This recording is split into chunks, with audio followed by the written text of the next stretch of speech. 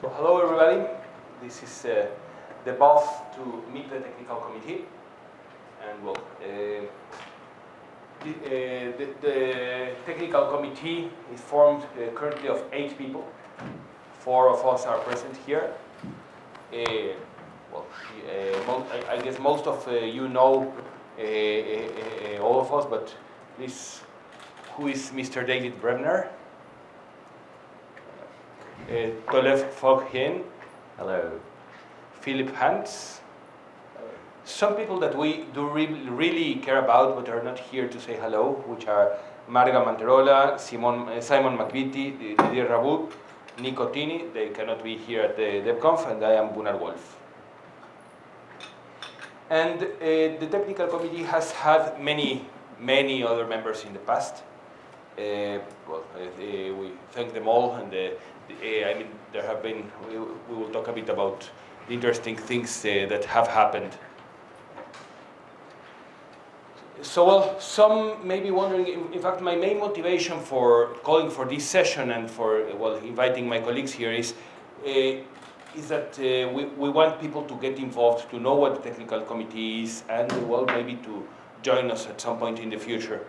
Uh, so uh, the technical committee is outlined by, uh, by, uh, by the Constitution.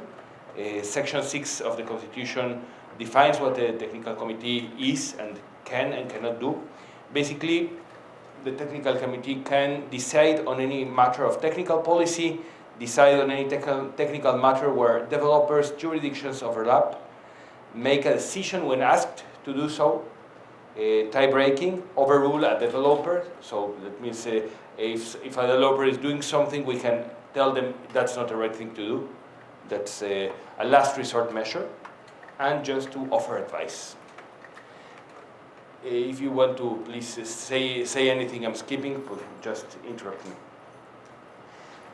Now, the technical committee is also bounded by, by the Constitution. Uh, the discussion has to be public. So, of course, uh, like, uh, like many other Debian teams, we do have uh, private channels, but everything that we do must be supported in, in public discussions and decision making. We, uh, the technical committee doesn't go into details when outlining a solution, no detailed design work. And the technical committee is seen as a last resort. So if something doesn't work out between people, between developers, uh, the uh, uh, technical committee can get involved. Yep. We are asked to break the ties among the available options, and uh, uh, after, after alternative uh, options have been tried and failed. So we can offer advice to you, to any well, developer who asks uh, that, and uh, that's precisely what, what, what we're currently doing. With our, well, I will get to the two bugs we are currently uh, working on. So, the technical committee is a self-nominated uh, uh, board, uh, uh, well, uh, group that is the technical committee asks the DPL to add members to it. It's DPL appointed, it's last resort, and it's a body for conflict resolution and advice providing. So, what do we do? What have we done in this uh, last year? Well, most of our, our productivity has been uh, adding, uh, adding members and uh, deciding who is the, the, the chair. Yeah. We do that via box in the web tracker. Uh, in the, in the past year, we have had uh, two technical decisions. Uh, so both decisions are repealing older decisions by the, technical committee because, well, the reality uh, on, uh, in different parts of the project has shifted. So, for example, uh, this, this first one, the, there was a very long thread, some of you will remember, about whether Node could be no, named Node or had to be Node.js because there was another thing called Node. Well, the technical committee had decided a long time ago that the JavaScript node had to be called Node.js. But now that the other package called Node uh, is gone, uh, the, we, uh, we repealed that past decision. most of the things, well, the, the, the, committee is providing points of view, say qualified points of view. So in this last year, we, we closed four bugs without a formal resolution. It was not needed. a consensus was found and accepted by the developers. So we have these four bugs. Again, I'm not getting into details. Currently, we have two open bugs we will be discussing. Both were opened within the last two weeks. And uh, uh, well, they are regarding uh, the policy sprint that well is being spearheaded by Sean Whitton, who regrettably has other activity at this same time. But well, we're discussing whether vendor-specific patch series should be permitted in the archive, and what should happen when maintainer scripts fail to restart a service during package installation or removal. Okay, uh, well, I'm missing there because I'm at the very bottom, but uh, uh, the technical committee uh, has a limit, uh, a time limit of uh, three and a half years for uh, permanence in, uh, in it. So, well, uh, Simon and me were the last ones to join, our term will expire at the end of uh, 2021. And well, from the rest uh, of us, uh, well, uh, Tollef is currently the eldest one here. he's about to, to leave the committee at the end of this year, as well as Didier, who's our past chair. The, the, the, rules for it are a bit strange, but well, Anyway, so every year we want to get around one or two new members. It's not uh, that we need it. The, the uh, Constitution states that the committee can operate with between four and eight people. We are currently eight, so, uh, but uh, we, we want to get new people to enlist to work with us, to volunteer. Work is not that contentious or that hard. We did have a well, uh, before I joined, uh, they, they, did have a really, really hard time designing the init system. You, we don't want to go over it again. It's a really, really nice way to, to stress test the bug tracking system. It's probably the largest bug in the, in yep. the entire BTS. It's, it's, a rather large bug. Yep. So, uh, well, even though the name is technical committee, the work is mostly social. And it's about solving disagreements, as much of the things we're currently discussing at this DebConf, uh, we are talking broadly about uh, technical things, but more detailedly about how to solve social issues, listening to people, sometimes taking some decisions. It's mostly a political thing. And uh, well, we're looking for people with these qualities, right? People with empathy, technical agility, mentorship, responsiveness, social sensitivity, and who are cool-headed even in a weather like we're having now. We need more diversity. That's uh, that's true. That's a fact. Uh, we, I, I'm, I am very happy. I guess you you uh, will join the feeling of this that where uh, our current chair is Marga, which well brings brings some diversity in, uh, in, into a well mostly male, mostly everything uh, project. But we need more diversity. We want different people uh, say we don't have uh, anybody from this part of the world or things like that. We're looking for people uh, to nominate themselves. So either yourself or somebody else. If you think about somebody who could make a good committee member, please nom nominate them. Well, we're friendly. We are uh, available. We want to hear you. We're just people, developers just like you. And of course, we want to improve processes. And well, that, that's, that's it for the presentation. Now I'm joining the rest of the group for, for your questions.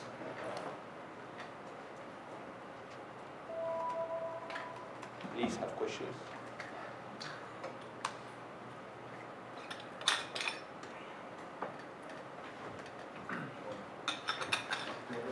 You want this one?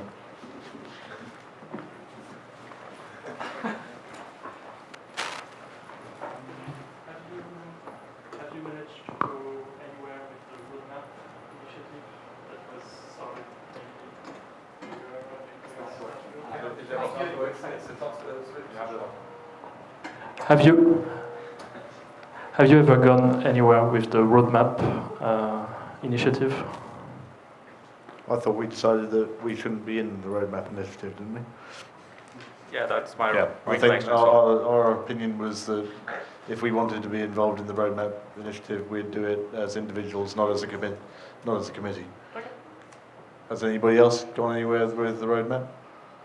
I don't know. Okay, that's great.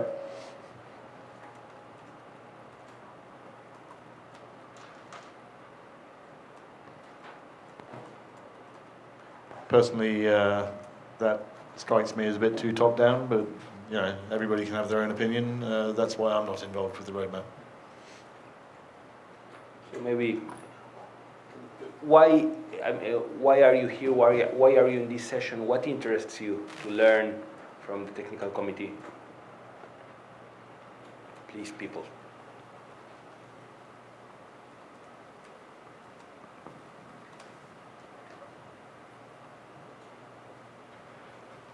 I Bring think the they're monkeys too in the cage. scared.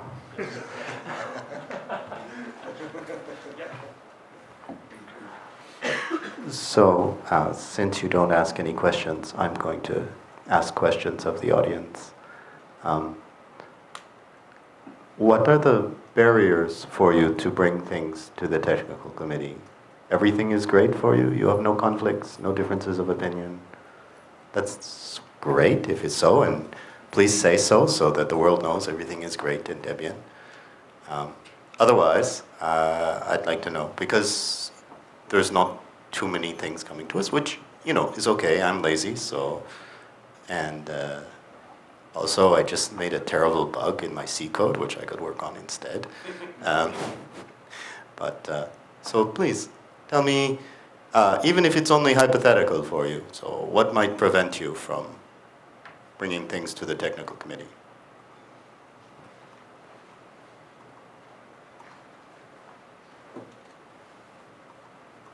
Am I supposed to answer for everyone or?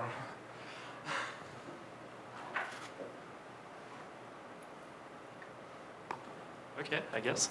Um, uh, in my um, personal uh, opinion, I, I think the, um, um, there's a history of having the project go to the technical committee and either uh, not finding a resolution in a reasonable amount of time or um, like the universe exploding and uh, and so I think a lot of people have, are scared of uh, putting things forward to the technical committee. Um, I think this has changed uh, with like the, for instance, the term limits uh, and everything. So there's like a lot of uh, new blood coming in regularly. But yeah, I don't know if uh, like we have a lot of inertia in uh, the way we see things in the project. So maybe it will change with time. I hope.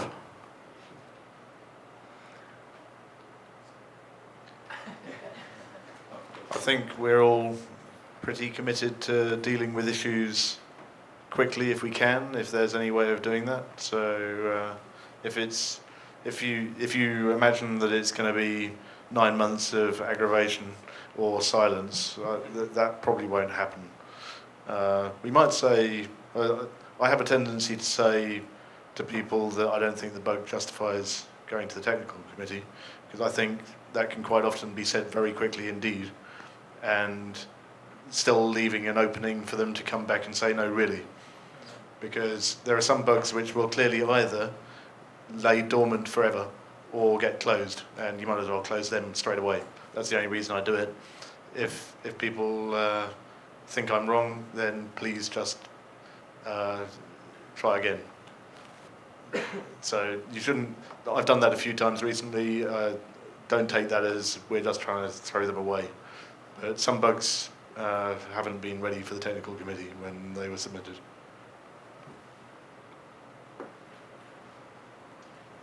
Uh, I, think one of the things that people don't use enough is the advice capacity of the technical committee. Uh, we always use the technical committee as like the supreme court of the Debian project.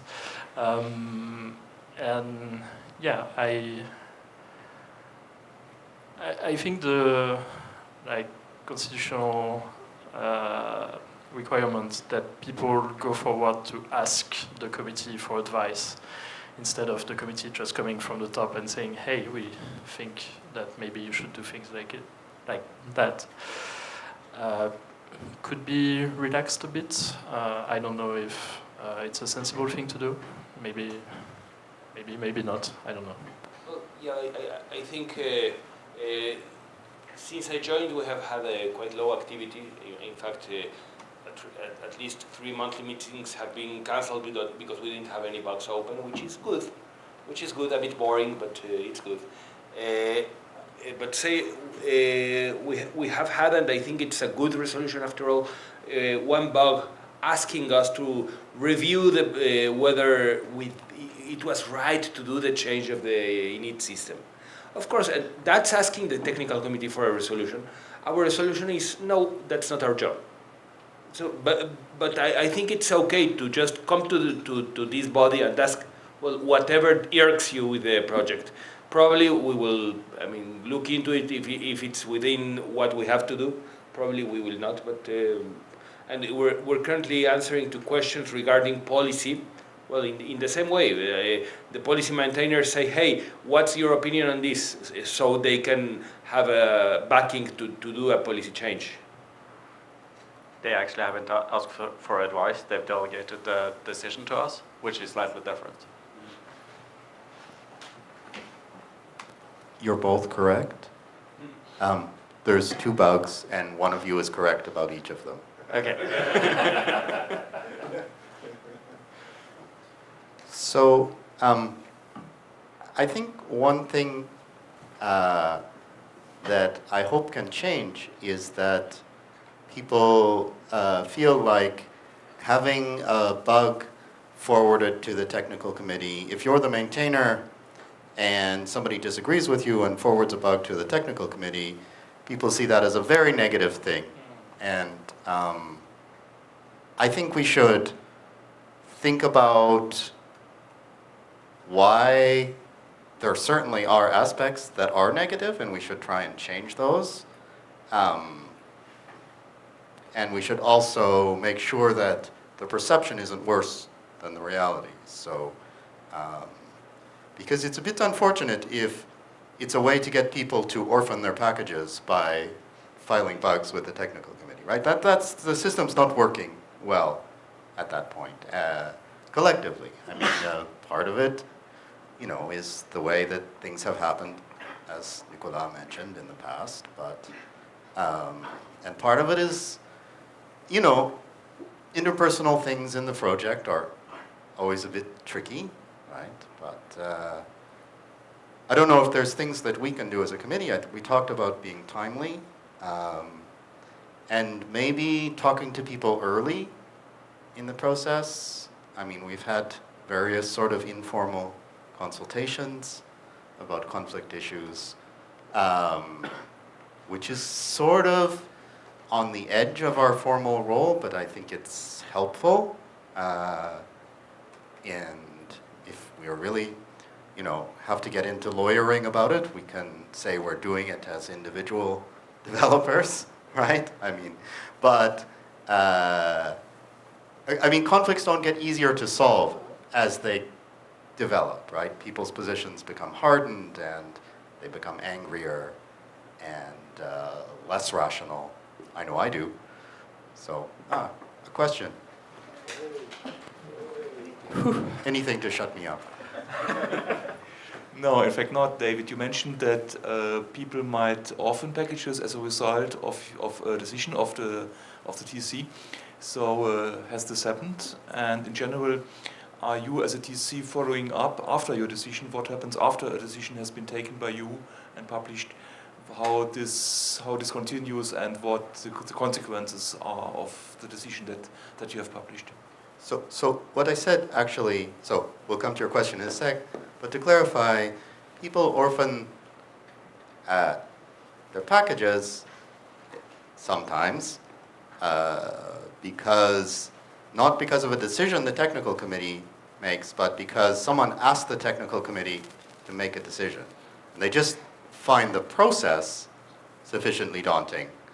So uh, it's hard to make a decision that will make them happy in, in, in that situation. But I guess maybe somebody else wants to answer the, your real question, which was, do we follow up? And,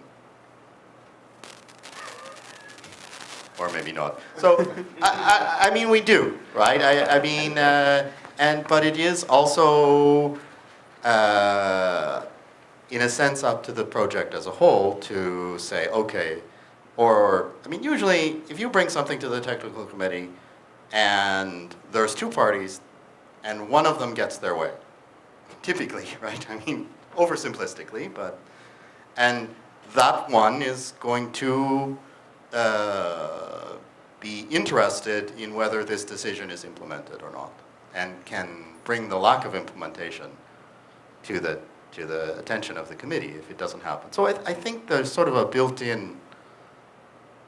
I don't, I don't know. Maybe other people. Maybe there's subtleties that I'm missing here. But of all the things that we might be screwing up, I think that that's probably not one of them. I, I haven't really seen a big need for it, like in a formal formal way, because partially because of that, and partially because if the TC decides something, then maintainers don't actually go around undermining that by failing to implement stuff. Um, I think if they did, then we would have other problems. Um, so, yeah. I, I normally get interested in the the actual pro- problem while we're looking into it, and so I quite often carry on looking at it afterwards. So, in a very informal way, I sort of follow up, but you know, I, I haven't made a point of it. So, if decisions are where about things that I'm really not interested in, then I probably wouldn't notice if they became toxic afterwards. I don't know. I, I think, uh, well, I am happy, and uh, that's uh, one of the points I pointed out in the presentation, which I must say it's basically a copy from what Didier presented last year. Uh, I am happy that uh, most of the things that have been decided were not a formal decision, but uh, wa- was helping reach consensus. So if both parties in an ar- uh, argument say, okay, this is no longer a problem because we have spoken it over, well, we don't have to follow through because it's done. I have something uh, from IRC. Uh, Helmut uh, has made a comment about why people are reluctant to uh, actually put things forwards to the committee. Um, he's saying that he's experienced twice that he has put an issue forward to the committee, and by the time it was resolved, uh, the issue was obsolete. And not How long ago was that? I don't know. Uh, I mean, I, I know I know that was a problem, or at, at least a perception problem. I don't know with the committee long time ago. I think it was less than a year ago, but um, I don't recall exactly. I think We, we will get back to you with the answer. I, I think it's a fair comment. Um, it will always be something we need to watch to make sure that the committee is, or to, to try to make the committee as responsive as possible. I mean, as you know, everything in Debian happens according to people fitting it around all their various responsibilities. Um, but generally, people who join the committee uh, join it knowing that for some periods of time they will have to try to really make an effort to be responsive to committee stuff. So Helmut has followed up. It was more than one year ago, so maybe it got better.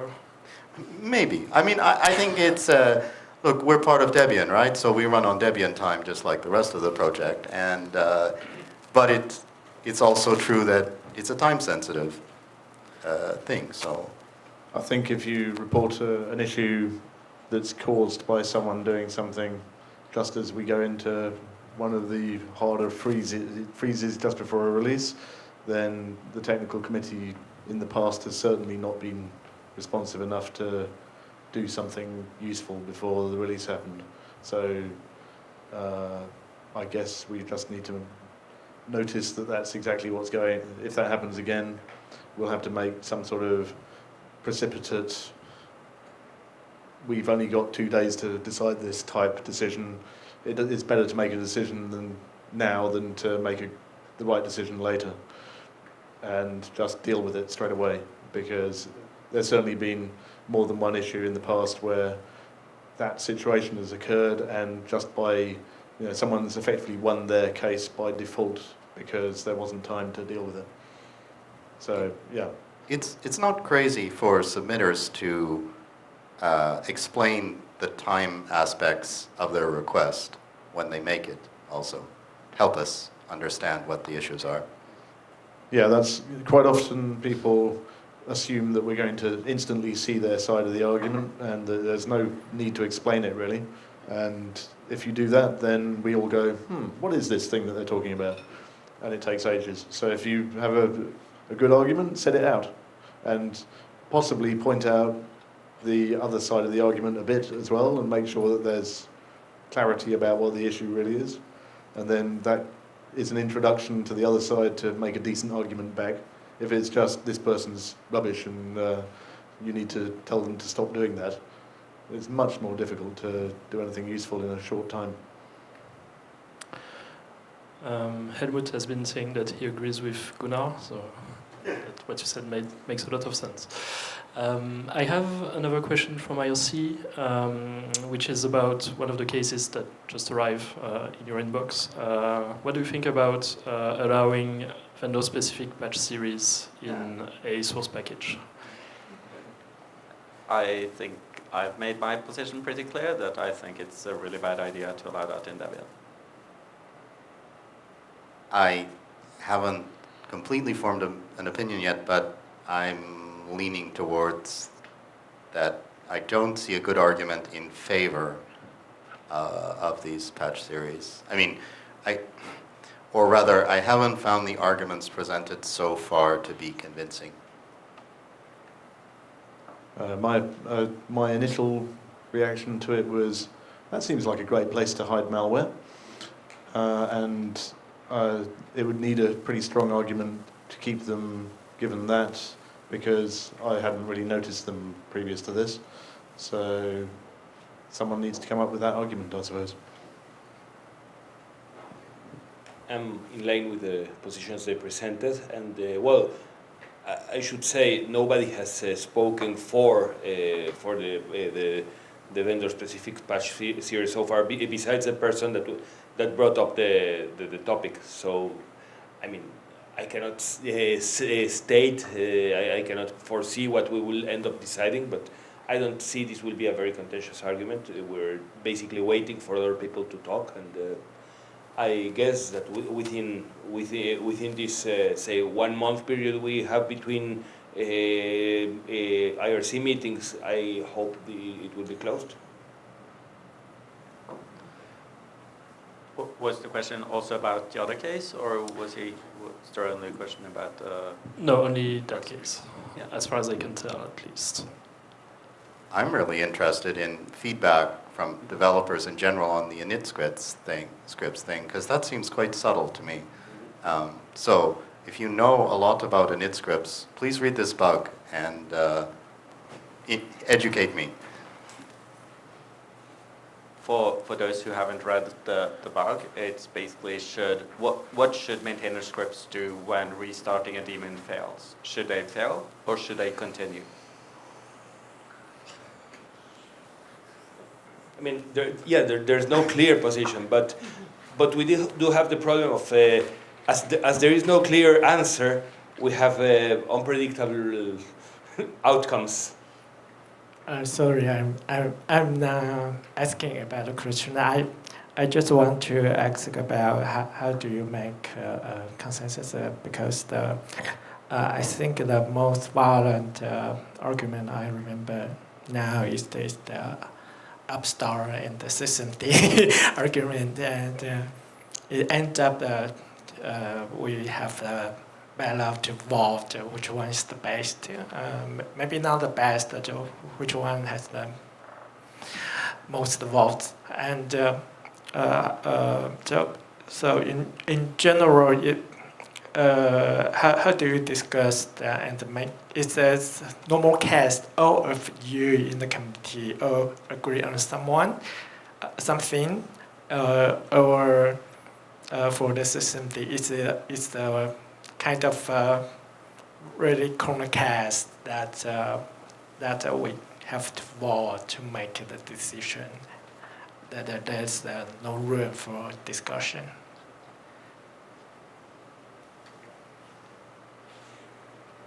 I'm yielding the microphone because I, I wasn't part of the committee. I wasn't there either. I, I did watch quite a lot of the discussion.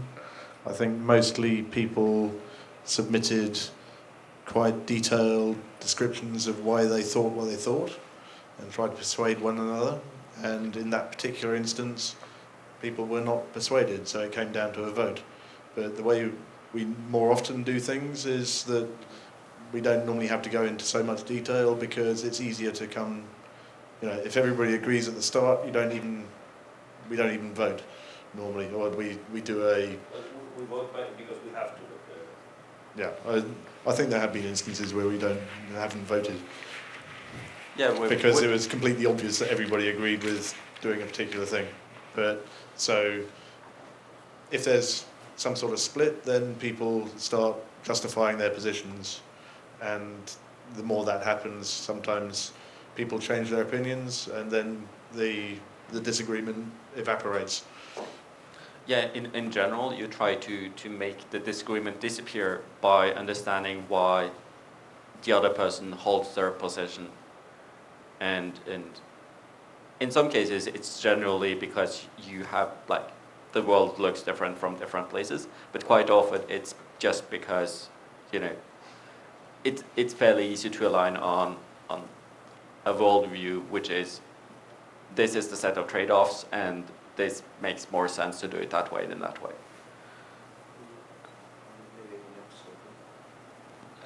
I was thinking, well, of course, people will uh, would bring this uh, this topic of the systemd decision, and will probably keep bringing it up uh, in future uh, uh, years. But the thing is, I'm, I'm thinking of it as something more broad. I mean, no, I don't remember such a discussion or backlash when Red Hat took the same decision, or when, well, many other distributions did. May, uh, maybe what happens is that we do have an open decision process. People, uh, everybody wanted to be part of such a relevant decision that changes the, the Linux uh, landscape for good.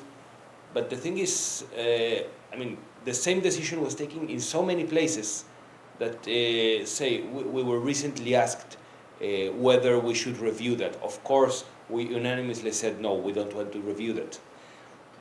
But uh, I, I think hundreds of other distributions are are okay with the with the path taken. I think the uh, the premise for the asking us to review it was completely broken. Is is the reason why when when there was a disagreement in the technical committee, it was between whether that we should switch to Upstart or to systemd. Uh, it wasn't whether we should stay with sysvinit or I mean OpenRC was uh, a long third. So at this point, I think it's, you know, with the benefit of hindsight, I think it's pretty clear that Upstart wasn't going to be a great choice because where's Upstart? It, it got event, I mean it got killed off by, by upstream basically when we decided to switch to Yeah, uh, but also, so- you know, Upstart's had severe problems for quite a time and uh, the original Gil, developer... we don't have to talk about Yeah, this. anyway, we don't have to. okay, we don't. But but that, that's the reason why it's a, the question was wrong when it was presented to us again because the question was asking it as if as if going back to SysV and it was an option, and it was wasn't an option even then. That wasn't on the table. So it was between two choices, one of which isn't there anymore. Three So- choices. What? OpenRC. OpenRC was was way behind though, wasn't it? Really. Are, really. are, are there any more questions? So I, I shouldn't have started that. It's okay. It's systemd, whatever, blah de blah. I think the real problem actually is that people think that they are, you know, that Debian is theirs. Everybody in Debian thinks that Debian is theirs. So that's why people didn't complain in Red Hat because Red Hat's just, you know, like milk or something. It's something they buy, and That's not not a theirs. problem. That's great. No, that's really good, but that's why people get upset. You know, you don't get upset about the person that manufactures your tires changing the ingredients or something. Uh, do you still want opinions in the peanut gallery on what should happen when, when maint scripts fail to reset a service? Yes. I do. Okay. Um, I guess like so broadly, like obviously like the reason that this is in front of the committee and the reason that you know nobody can really decide what which way to go is because like it is sort of implementation specific. Like rather, it is going to be deployment specific. Like there's some cases where you absolutely do care and you want it to fail, and that's going to be something you're going to notice and then be able to take action on. In other cases, you could, could you know give two shits. But um, I, I think that said, for the default, I, I suspect the answer should be it should cause a failure. Um, just thinking from the context of uh, I am setting something up in CI, I'm setting something up via like Chef or whatever, and I say install this package and I expect it to be configured once Chef runs successfully. Um, maybe you say I should add a, like a, a check that af- after we install this package, we you know, then do some health check to make sure it was both installed and correctly configured. But I, I think it'd be mm, less surprising if like that install failed because the ended result of the service running didn't occur. Uh, and then this sort of goes back to Debian's uh, ethos of like, you know, on by default. If you install something, it should be running. Um, and we, we, of course, we, that's not appropriate for every deployment, so we already provide mechanisms for you to say, in, when installing packages, don't start the service. But and I, I think in the same way, it would be reasonable to offer a tunable, but I, I think the default should be to fail, personally. Does that make sense? It was a cogent opinion. Yeah, it made sense. I, I'm not, yeah, so without saying, yes, we agree, let's decide it Luke's way. But uh, no, thanks for the, the cogently expressed position. Anybody else have similar, differing opinions? We still have 10 minutes, so.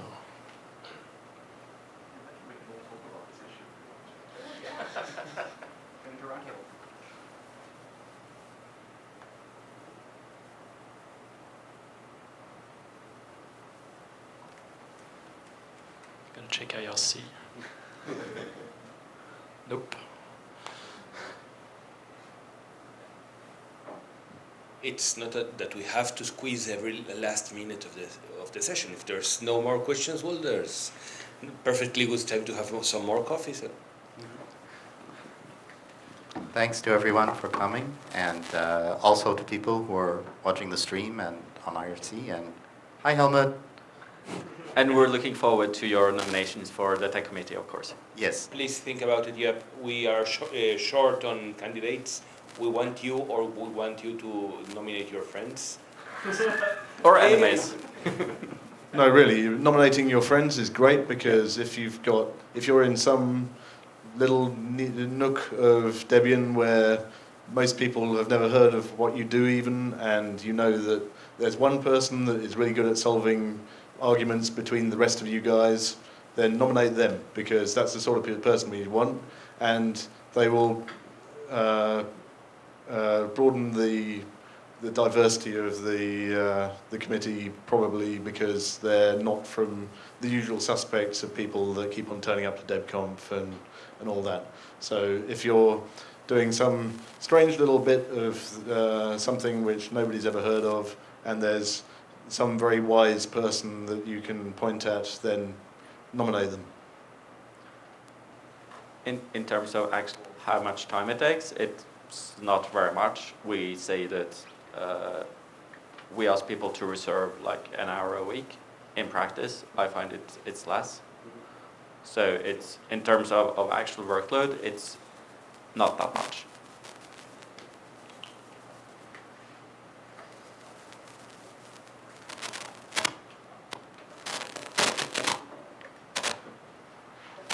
Okay, I suggest everybody leaves now. Bye.